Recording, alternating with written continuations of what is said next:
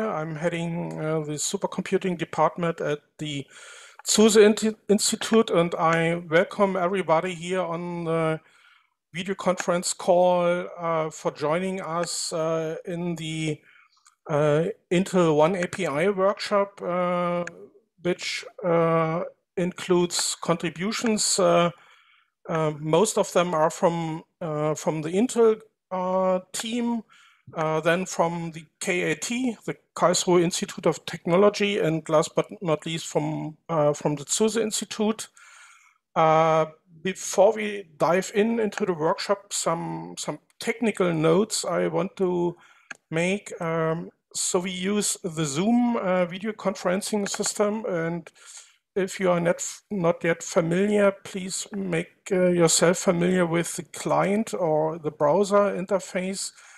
Um, the most important uh, technical thing I want to say is that uh, at the end of each uh, presentation, we make a, a, survey poll, and I kindly ask you uh, to um, make um, make your decisions. How would you like uh, the the presentation?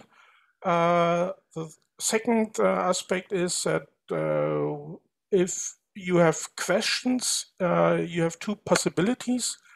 Either you can use the chat tool uh, if you browse uh, in your client or browser, you find that uh, at the top or the bottom, depending on, on your client version.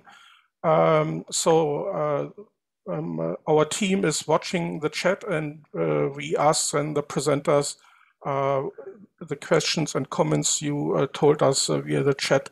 Second is you can unmute your mic and uh, ask your questions verbally and uh, then let's see how, how that works. Uh, in the meantime, I would ask you to mute your mic so that we uh, prevent uh, unnecessary noise on, on that channel. So then, then let's start. Um, a few notes uh, why we are hosting this workshop uh, and what the Zuse Institute is. so ZIB, in short, is an interdisciplinary research institute for uh, applied mathematics and uh, high performance computing. And uh, at the institute, there are algorithmic de developments in the areas of modeling, simulation, and uh, mathematical optimization. On the HPC side, uh, we are one of uh, eight so-called NHR HPC centers in Germany. That's all uh, the tier two level of HPC in the academic world in uh, Germany. Our current uh, current system, Lise, uh, after uh, Lise Meitner, is at the uh, um, position 55 in the top 500 list. So it has roughly eight petaflops of peak performance, 120 Intel Cascade Lake AP cores and uh, half a petabyte distributed memory and uh, uh, uh a petabyte uh, online storage. And we have to serve many scientific disciplines and we focus in ourselves in the future of of some of these uh, hot science disciplines like life science, chemistry, earth science, engineering, and, and more. And the point uh, in, for this workshop is that uh, we believe uh, the future is much more heterogeneous. So we have to solve the challenge uh, to bring codes on multiple devices like uh, GPUs, uh, FPGAs for configurable computing, and many more. For today, we have in the morning session uh, the following agenda. So uh, Edmund Preiss from Intel will start with the introduction into uh, One API. Uh, Michael Steyer from Intel will give you an introduction how to use resources on the Intel Dev Cloud. And after the short uh, bio break, uh, Igor Vorobtsov uh, gives you the first glance of the DPC++ programming with the One API compilers. And with that, I would hand over to Edmund Preiss.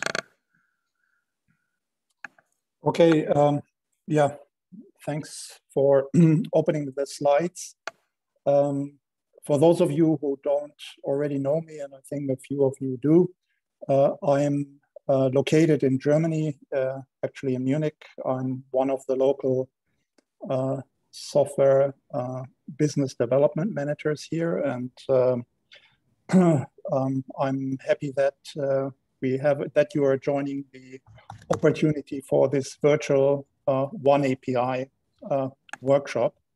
Um, so let's move on to the next slide. I want to say a couple of introductory uh, words about the goals and the objectives. Um, and um, yeah, maybe also some stuff about the logistics uh, on the next slide. But for the moment, let me talk about the goals and objectives, which were also part of the invitation. Um, what uh, I hope you will get out of it, and also Intel uh, hopefully will get out of it, is uh, to increase the community of people who are fluent on um, Intel One API, on the concept, on the standardization initiative, but also the Intel uh, One API products, uh, which are called the Intel One API toolkits.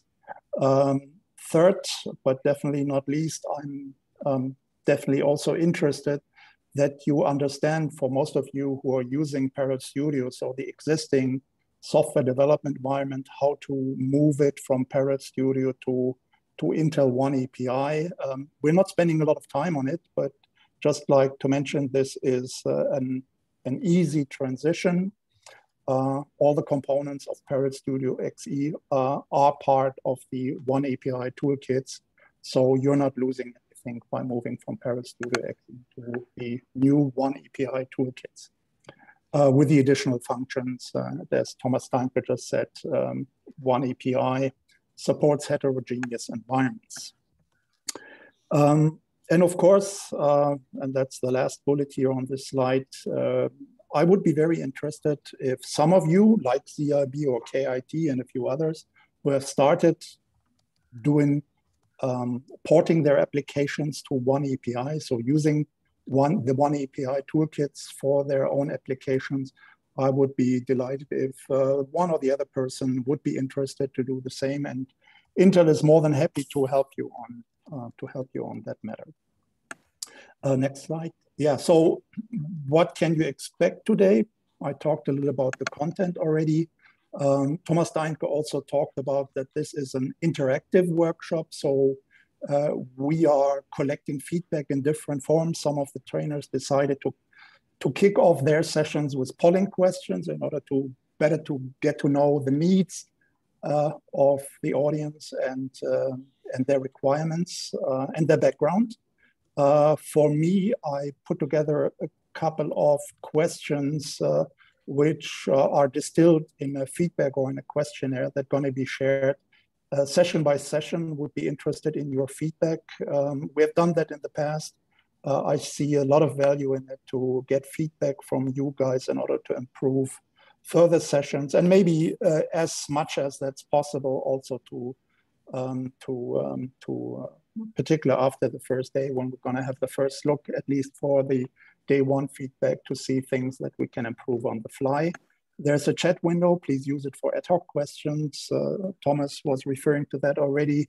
Uh, and uh, in order to keep the interactivity really at a high level, we also have a Q&A session, a question and answer session at the end of each day. So feel free to stay a little bit longer and ask your your question, and then uh, definitely we will use also the uh, the audio feature. So we're gonna uh, speed up the process by talking to each other. uh, the presenters have been yeah, mentioned already. Uh, so uh, Michael Steyer, Igor Vorobtsov, and Gennady Fedorov are going to join me today. Uh, all these three people might be very no well known for some of you already. Uh, these are technical specialists in their domains. Michael is an HPC specialist, and he also is a specialist on MPI. And he will, though it's not part, uh, not shown at least in the agenda, but he will talk very briefly, pretty much at the end of my introductory, um, about a couple of uh, new things which are coming with Intel MPI in the uh, in the context of uh, um, of one API. Uh, Igor is uh, a compiler specialist, so a lot of people who were using, um, I'm digressing, preempting a little bit, one of the new compiler uh, compilers, the DPC++ compiler. So he's an expert on it and uh, he will lead that session and will of course answer lots of questions related to that.